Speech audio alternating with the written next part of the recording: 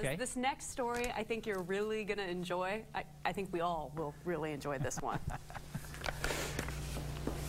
Every year, as temperatures hit their lowest, people get creative testing just how cold it is. Jeanne Moos takes a look. Why just trudge through the cold when you can use it to experiment? It used to be civilians posting their weather tricks online, but these days actual weathermen are demonstrating what happens when you throw boiling water in temperatures below zero. Ready? Oh, yeah. Hey! We're calling these stupid weather tricks, the kind we can't resist.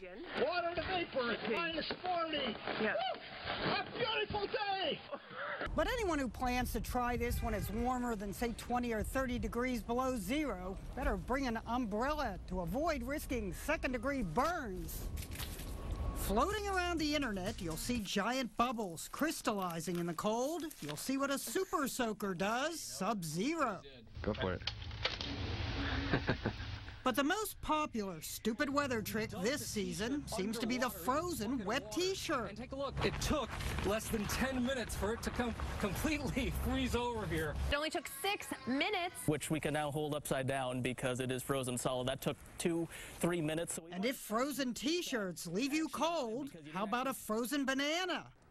Instead of a hammer, or a frozen egg in Minnesota where it was 20 below. Of course, an egg freezes. It would be news if it didn't, but it looks funny. Or if it's egg on your face you prefer, show up on TV in a funny hat. That is a serious piece of oh, business, and it looks I like, good oh, too. I like it like that. That's best like that, Kevin. Now, I may look like a bank robber tonight, Scott. Just last week, Jimmy Kimmel was making fun of Southern California news anchors for freaking out when temperatures dipped into the 50s. Cold, cold, cold coming our way. We have team coverage on this freezing cold weather. The extra blanket, the heater, the dog, anything you can do to keep warm, snuggled. How long will this Arctic blast last? Long enough for us to beat the frozen t shirt into the ground. It is solid. I'll confirm. It's frozen. Jeanne Moos, You look like Mickey Mouse. CNN, Okay, there you go. There you go. Look at that. eh? Whoa. New York. I like the water, the water gun. well, tell Scott real quickly.